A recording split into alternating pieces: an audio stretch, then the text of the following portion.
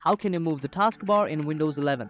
So you can see in Windows 11, the taskbar is located at the bottom as default. So in order to so in order to set your taskbar to the left, to the right, or at the top of the screen, what you need to do is first of all go to the taskbar setting by clicking is first of all go to the taskbar setting by right clicking on the taskbar and go to taskbar settings. After you do that, under taskbar behavior, you can just click on this drop down menu right here and you can see that taskbar alignment is only possible in left or center. So that's the alignment, but you cannot shift your entire taskbar on the sides of your screen. So in order to do that, we're going to take the help help of registry editor. So hold Windows on your keyboard and press R. After that, type R-E-G-E-D-I-T on the text box right here. Click on enter. Now go to the current user section right here. Click on it. Go to software and inside software, go to Microsoft and inside Microsoft, go to Windows right here. After you do that, click on the current version option right here and inside current version, search for Explorer. It's located right here, so click on it and inside Explorer, find Stuck RECTS 3 right here. Click on it. And after you do that, click on settings. And after you do that, make sure that you export file. Right click on it and and make sure that you export the file right? So that if you have any important stuff and it doesn't work out like you planned then you can just go to the backup that you had created before and just recover the features from the backup again. So after I've done that click on the settings right here and this key right here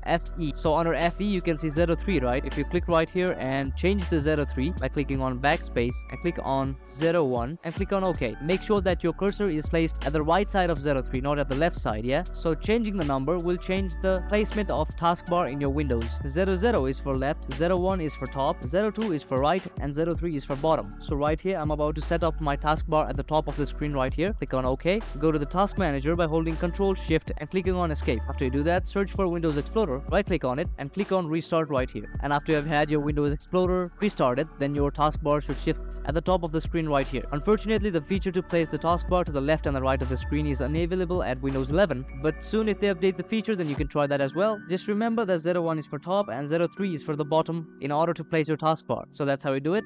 Thank you very much.